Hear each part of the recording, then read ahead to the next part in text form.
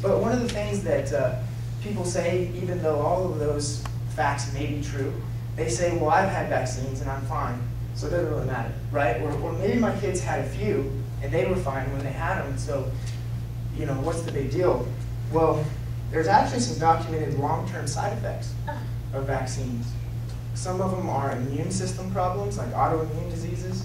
Uh, some of them are, uh, are uh, uh neurological problems, like autism, hyperactivity, ADD has been one that's suggested. Uh, dyslexia, dyslexia, that's what I just did. uh, allergies and even some cancers actually have been associated with some of the vaccines. And so a lot of those problems that they stipulate may be caused by vaccines are way worse than any of the childhood diseases that your child might get. Now, in fact, the childhood diseases are um, greatly uh, exaggerated in order, I believe, in order to scare parents sometimes into, into vaccinating the kids. Now, your child can get almost all of the childhood diseases that we vaccinate for, get over and be perfectly fine. And they'll actually be stronger after they get over them. Some, in Britain, they actually, it was very common to have measles parties. So if one kid got the measles, everybody would bring their kid over and get them all infected. That way they'd get over it, and they'd never get them again because they would actually be really immune to it. Uh, they do that with chickenpox, or they used to, right? Now they're on the vaccine uh, for chickenpox as well. In Chicago, there was a major outbreak, uh, like we talked about in 1993, and an expert said this, and this is a whooping cough of, of. He said the disease was very mild, no one died, no one even went to the intensive care unit. And so um, some medical doctors, and unfortunately a very a low number, but they actually only recommend tetanus vaccines because they say it's good for kids to get those type of diseases and get over them, and their immune systems will be stronger. Now, actually, the funny thing about the tetanus vaccine is it's also a myth that you get scratched by a nail or something, you're going to get tetanus. The way tetanus works, it's Clostridium tetani, it's a bacteria, and you have to have a deep puncture wound to put that, that bacteria deep in there where it can't get any oxygen. And so it goes through. But that, when people were suffering from lockjaw, that was back before we had any kind of antibiotics. And so that bacteria would multiply in their, in body during World War I or World War II or whatever.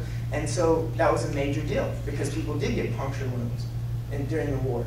But nowadays, if your child were to get a puncture wound or anything you were even concerned about, you get on antibiotics and there would be, even if you started to get the symptoms of lockjaw, you'd get on antibiotics and you'd be perfectly fine.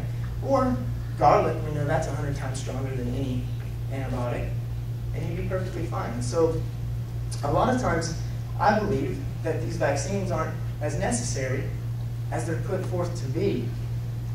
And also, here's what I think is uh, really sad, is that a lot of people think vaccines are their only option to prevent disease. When in fact that's not true. There, there are a lot better ways to prevent disease, and chiropractic is a great way to make sure your kids don't get any diseases. Now we have probably, I'd say 25% of our, our practice is children. And a lot of them haven't been vaccinated. And I guarantee you they're some of the healthiest children in all of Amarillo. And they're going to grow up to be some of the healthiest adults um, in all of Amarillo. Um, our adjustments for kids are, are not for neck and back pain like a lot of people think. They're for the function of the nervous system. And that's why, that's why you can prevent disease with chiropractic, is because the nervous system controls one of the major, major disease-preventing systems in the entire body, your immune system. And when your immune system is working at 100%, your child is virtually, it's impossible for them to get any of those types of diseases. And so, um, so I'm going to conclude this with giving you uh, five steps to making sure, if, if you do choose to do so, if you don't want to vaccinate kids or you talk to some of your friends and they don't want to, here's five steps so that you can be sure your kids are vaccine free and they're the healthiest kids that they can possibly be. Okay, number one is to get a conscience affidavit form. And we have these. They look like this. You just fill them out for uh, each child. And all you do is mail them in. You mail them into the Texas Department of Health. And uh, what they'll do is they'll process it, and they'll send you out five of these. Five of these, and um, all you have to do is if any daycare or, um, the way, I'm, going through all these steps. I'm not telling you the numbers, but uh, it doesn't matter. So you fill these out, get them notarized, and by the, the day you notarize, it's good for two years. And so you give this to your daycare or your college or your school. And by the way, every affiliation in the state of Texas has to take this. They have to take your child. They cannot say that we don't take those because it's by law.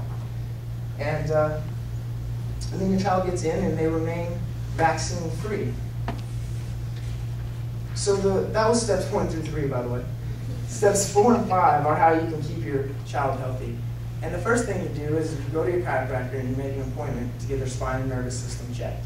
Your chiropractor will take it from there. And so we are taking appointments um, up at the front. And so uh, the, the second thing you do is what we talk about, we teach everybody here, and that's follow the four keys to wellness. Because when you're well, you can't be sick, no matter what. It's the truth. And, and the first key, of course, is follow the principles of health that are laid out in the Bible. The second key is to understand um, how your spine and nervous system work and get adjusted and make sure they're working well. The third key is keep your kids active and make sure they're getting enough exercise and you yourself as well. The fourth key is to eat a healthy diet and make sure you get all the nutrients that you need. Those four keys are how you stay well. All right? So I hope you learned something today. I appreciate your time. And, uh, thank you very much.